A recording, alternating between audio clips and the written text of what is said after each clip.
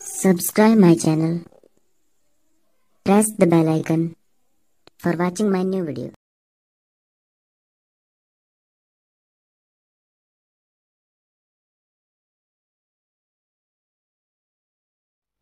Hello नमस्कार आप देख रहे हैं अलविज न्यू आज इस वीडियो में आपसे बात करने वाला हूँ सुपरस्टार थाला अजीत की मूवी जो एक रीमेक मूवी है बॉलीवुड मूवी की जो बॉलीवुड की ओरिजिनल मूवी थी, वो थी पिंक उसका रीमेक बनने जा रहा है, जिसमें लीडिंग रोल में है सुपरस्टार अजीत।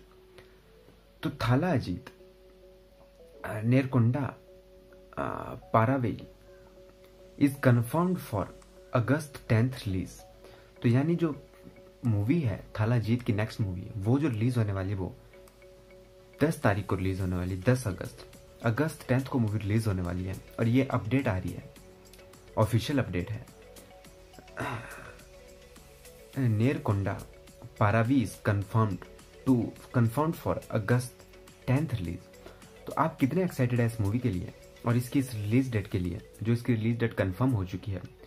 आप हम कमेंट बॉक्स में लिख के बता सकते हैं चैनल को सब्सक्राइब कर सकते हैं, ताकि हमारी आने वाली सारी वीडियो सबसे पहले दिख सके। धन्यवाद।